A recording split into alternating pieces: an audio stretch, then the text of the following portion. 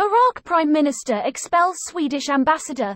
Withdraws diplomat from Sweden as man desecrates Quran in Stockholm. This post received a score of 4400, with an upvote ratio of 96%. Here are the top comments in response to this article. But this isn't an official act of the Swedish government, so why this? Sweden got rid of their blasphemy laws 50 plus years ago, and apparently that was a blasphemous thing to do. In reality it was hardly used 100 plus years ago. Well we had that case in 1884 where the famous author August Strindberg was on trial. He was acquitted. In Swedish. For English speakers, here's the page. I hope this hard line also applies to no longer accepting the some 30 million United States dollars they received from Sweden yearly. Of course not.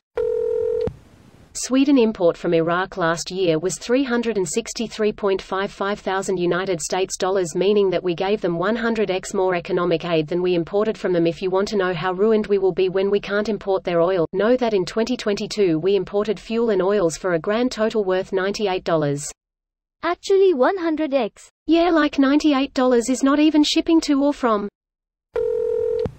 They really think we're gonna bow down just because they're angry about other people's property being set aflame.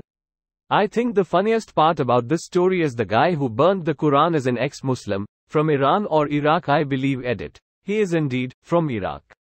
The funniest thing is he used to be a local anti-government militia leader in Iraq. From militia leader to refugee, the backstory of the man who burned a Quran in Sweden. What a fucking guy. What do they expect? Sweden is a free country. It's kinda unsettling, there's plenty of people out there still that don't understand what that means. The title would read much simpler, if they put, an Iraqi man, Desacrates? Snowflakes. It's a fucking book, just like idiots freaking out over the US flag being burned. It's just a piece of cloth. For fuck's sake. The funniest thing is that religious books can be read free on the internet. Burning a printed copy is mostly meaningless if it can be mass-produced. If I right-click and delete a digital copy will I be banned as well? Coronen Bridge, NDES Aldrug, Men trots det kom beskedet FR, en Irak atman kallar hem sincharch, Dafes kallas hem FR, en Stockholm och lande uppmanar den svenska ambassad, Ren L, MNA lande. The book was never burned according to Aftonbladet. I hear nothing on the news about a book being burnt today, just embassies. Another Iraqi citizen wiped his feet on it, 5,500 kilometers from Baghdad. Totally normal reaction to go torching a foreign country's embassy for that. Religious people act irrationally? Again. How surprising. Ah yes legitimate societies for sure lose their collective fucking mind over a single dumb-ass fairy tale book being destroyed.